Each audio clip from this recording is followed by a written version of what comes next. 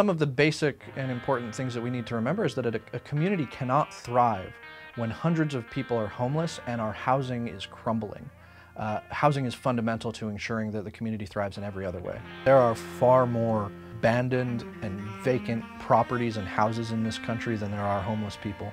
Um, and that's true in our city as well.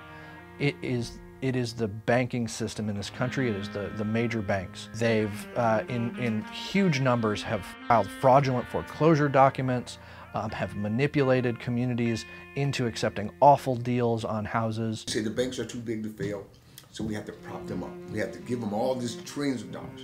Housing is fundamentally something that we all need. And in being a human right, we should live in a world where housing is something that's accessible to absolutely everyone, where all people have the, the basic quality housing that they need, um, and where larger spaces are community controlled and, we, and we're able to decide what sort of public, uh, what sort of public spaces uh, we want and we intend to use.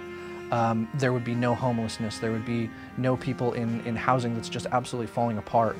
Um, and, and ultimately, the, the most important piece is that when housing is a human right, uh, it's no longer a commodity. It's not something that's bought and sold for the profits of a few elite people. Uh, in a home with a, with a single mother, um, on and off of public services, um, we were evicted um, a number of times in Salt Lake by rising rent prices. The experience of being evicted is uh, incredibly, uh, incredibly marginalizing and scary. Um, and to see people now standing up and defending folks from eviction and standing together as communities and saying, you know, we're not going to allow these folks to be put out of their home. Um, and to see people as an entire community standing up and demanding housing as a human right, um, it really it, it, shows that that those that those scary moments in my own life um, aren't necessary and, and don't need to continue for other families. In the short term, the expectation is that banks will understand that uh, our public entities and our local governments and municipalities won't just sit idly by and uh, watch as their communities are decimated by bank fraud and manipulation, um, but will actually defend the communities that they supposedly represent. Um, that will ensure a huge uh, uh ability for homeowners to negotiate with banks from here on out the Occupy movement, what it, what it showed people was that engagement in activism and movement building and organization building are the things that really change society.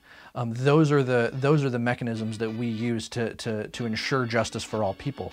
Um, and and that, that's how we're going to build our own power to ensure that sort of justice. On October 16th here in Rochester, we're going to be having um, our Housing is a Human Rights March. Uh, we hope that people um, from all sectors of society, from all portions of the city, um, come out and show that we believe fundamentally that housing is a question that can be solved and addressed um, through just a shift in values in our society and in our city. Um, and that our city is actually going to stand up and say, you know, we are a housing is a human rights city. Um, and that's what we expect, and that's what we, we hope that people will come out to, to demand with us. Success at this at the Housing is a Human Rights March is going to be hundreds of people um, from all over the city and, and surrounding area coming out to say that we think that uh, that banks should no longer run our housing policy for us. And the only way we can do it is united the people, because one thing we see as a chant a people united can't be defeated, and we see it happening all over the world. They should expect uh, a, a growing movement that doesn't go away um, because one march we know doesn't do it, but many actions consistently um, from a broad-based popular movement um, always win.